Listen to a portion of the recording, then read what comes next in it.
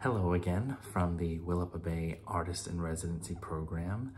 I am about halfway through my month stay here up in Washington and it's been going pretty well getting a good amount of work done but also really getting to enjoy the local uh, offerings. And today I thought it might be kind of cool if I shared a few things that I have over the few residencies that I've done, this is my third one, um, a few things that I've learned by now are a good idea for me to pack and maybe surprising. Usually an artist residency will provide you with a list or some idea of what items would be a good idea to bring. These are items that may not appear on those lists, but I have found to be helpful for when I have had to stay somewhere completely different from where I'm used to staying. So first up, usually in your room, they will provide some uh, utensils or a tea kettle and some flatware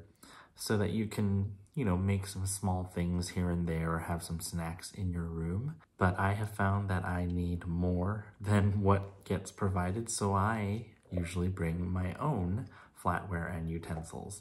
And just to give you an idea, This is something that I have found extremely helpful. This is a camping pack. Um, I forget what it's exactly called, but inside you'll find these containers here. And this is actually, this is a mug. It has a lid and everything where you can sip through that hole. And then I use this more as a bowl, even though, you know, it kind of still looks like a cup. Um, but I'll put cereal in here, oatmeal in here, and um, popcorn or other, other snacks that I may want to pour out. And it also comes with some plates. So this particular one is from the company GSI Outdoors, and I have found it very helpful when I've needed extra mugs, flatware to have in my room, because sometimes you're not close to the kitchen. I've lucked out this time because I'm really close to the kitchen, but in previous residencies, you're either not close or it's cold and you don't want to walk to the kitchen or whatever reason. It, it's raining and you don't want to deal with it. So having extra in your room uh, means that you can have the flatware that you need without having to worry about going out to go get it, as well as going out and getting it from the kitchen and borrowing it and then reducing the amount that is available for everybody else. So I have just found something like this very helpful. I also bring along some camping utensils. I forget what company these are. Oh, these are REI. um, but I have uh, about four of each of these, four forks, four knives, four spoons, and I believe four teaspoons as well. So that also helps. So you're not taking utensils from the kitchen that might be needed by other residents. And so I'll use these and just wash them every evening or every morning so that they're ready to go for the next time I need them. And yeah, so that's item number one. Now, item two is something that many people already know is a great thing to have when you travel, which is a foam roller. Uh, your muscles can get tight when you travel or when you're staying somewhere you might just need to loosen up, especially if it's a place where you can have a lot of hiking opportunities or walking opportunities. A foam roller is nice because you can loosen up and kind of work out some kinks in your muscles, particularly in your legs and your hips. However, what we typically think of as a foam roller often seems too hefty to travel with. So this time around, I got this little guy. This is a smaller foam roller and if you have a large enough suitcase, it'll fit right in. So, you know, not everybody may have space for this when they travel, but if you do have some space that you can spare, getting a small foam roller like this that can fit in a larger suitcase will be helpful. The next thing that I have found is very great to have on hand are stamps.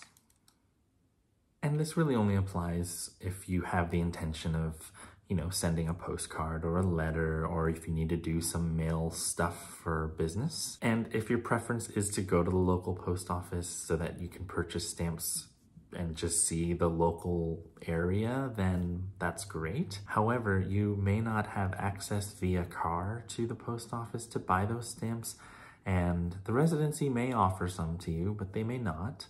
So I purposely brought kind of the exact amount of stamps I thought I would need in order to send postcards, letters back home, and that's just something to keep in mind if you want to save yourself the trip of having to go to the local post office around where you are, especially because you're usually in a remote area and the post office can be a walk. It could be a pleasant walk. It might not be. You never know. Uh, so just having those stamps on hand is very convenient for you to be able to send the stuff you want to send. Next up is the opposite clothing than what is recommended. What I mean by that if you're going to a pretty cold place, consider bringing at least one outfit for hot weather. And if you're going to a pretty hot place, consider bringing at least one, maybe not an outfit, but at least one larger coat. And nowadays there are coats that are pretty warm, but are still pretty light and easy to fold into your suitcase. And I say this having had the experience here at this residency when I looked at the forecast, the weather, the temperature rather, was forecast at around, you know, mid 40s to uh, low 60s. So I thought generally things are to stay pretty chilly. I don't need to worry about warm weather clothes. But at the last second as I was packing, I was like, you know what? I'm to bring some shorts just in case. And when I got here and discovered that I'm in this room which gets an amazing amount of sunlight when the sun is shining, I found that my room can get pretty warm and having shorts and short sleeve shirts to wear has been very helpful. So, you know, even though you may look at the forecast for a place and determine that you might not need some of these things, if you can fit it and if it's pretty lightweight, consider bringing at least one or two items for the opposite weather for these unexpected moments that may come up. And finally, I recommend little creature comforts, and this could be anything that is meaningful to you. For me, on this trip, I brought my little 'Olu Mel plushie, and you know, it's just a little creature comfort thing. He's small, he fits easily into my suitcase, so uh, it's just nice to have something that's like warm and snuggly and cute or reminds me of um, home or something nice. This was a purchase I made when I went to Hawaii and so it does, you know, bring some memories with it. So just a little, a little comforting thing from home. And I also brought this heart that my husband made for me.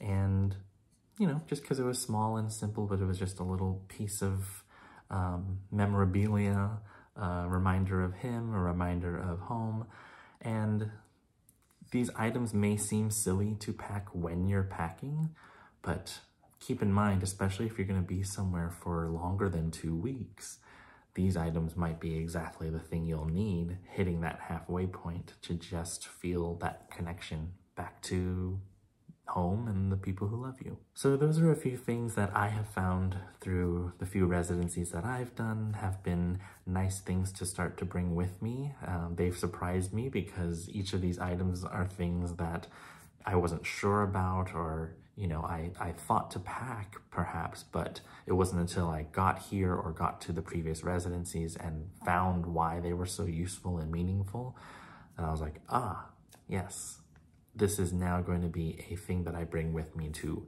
any future residencies as well. Hopefully that's helpful. Maybe you have some thoughts. What are some things that you have found surprising and nice to have with you when you travel or go on residencies like this? Feel free to let me know in the comments below and I will see you next time.